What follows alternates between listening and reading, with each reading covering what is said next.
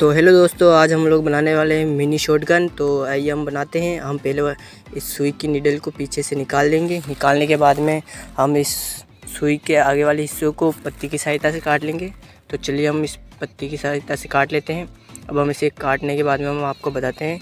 तो ये हमने इस सुई के आगे वाले हिस्से को काट लिया है। और अब आपको दिख रहा होगा, ये अच्छी तरीके से हमने इसी को काट दिया है।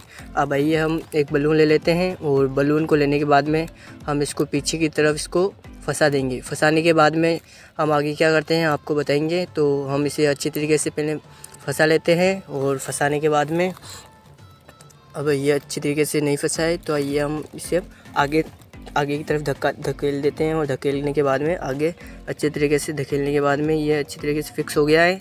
अब हम इसे पीछे की तरफ़ देखते हैं। अब इसे हम खींच के देखते हैं। तो अब हम इसे गार्ड बाँध देते हैं ताकि हमारी अच्छी तरीके से फिक्स हो जाए।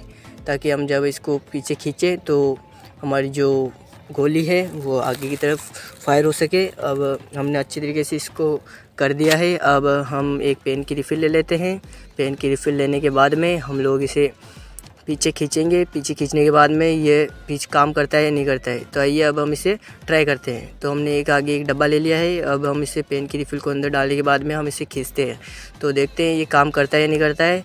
तो अब देखते हैं। तो ये देखिए, ये अच्छी तरीके से काम कर रहा है। तो आप चाहिए तो आप भी इस ऐसी एक मिनी शॉट गन बना सकते हैं घर पे, और आपको चैनल पसंद आए तो तुम लोग गलती से अगर नए हो तो सब्सक्राइब करो। वो जो लाल वाला बटन है, उस पर अपने जीजा जी फेंक के मारो या फूफा जी मुझे नहीं पता, बस क्लिक हो जाना चाहिए। अब मैं भी